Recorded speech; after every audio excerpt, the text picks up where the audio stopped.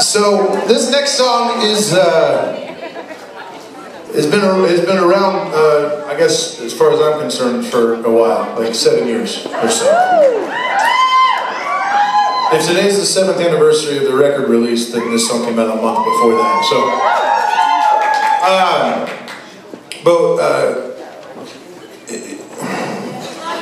I'll preface it with a story. Sorry, I've had a lot of these tonight. This one actually goes somewhere. Um, so I was uh, I was 12 or 13 years old. I grew up in Kansas City, Missouri, and um, I went to. I'm sorry. Go Royals, indeed. You're gonna get me in trouble here, though. So keep that down. Sorry. Um,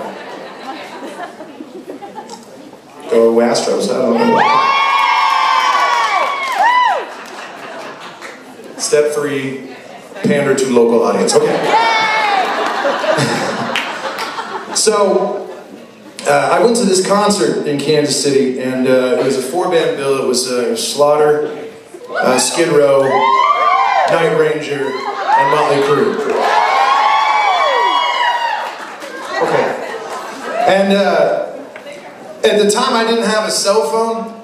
I didn't have a pager, for that matter. Um, um, so I'm at the show and I'm, I got nothing to um, take my attention away from what's going on on stage. I'm forever thankful for that, and because uh, I think that was the moment when I realized I actually would like to potentially be a musician the rest of my life. And, uh, and so, you know, fast forward to now, and, and uh, I don't know, the whole dynamics changed a little bit. Um, with this thing called the interwebs. And, uh, and so now it's just as easy to, to stay home and watch concert footage on, on YouTube or Vevo or whatever else, I don't know. Um, uh, internetvideo.com. I have no idea what else. Uh, and, uh, and I feel like more and more those moments get missed, the moments that, that really inspired me to want to be a musician. So uh, I want to try something tonight because I want, if nothing else, Houston, I want us to have at least one moment that's just ours. That's not, uh, that doesn't doesn't belong to uh, to to uh, the interweb. Uh, so if you got a cell phone or a digital camera, can you hold it up in the air for me for a second?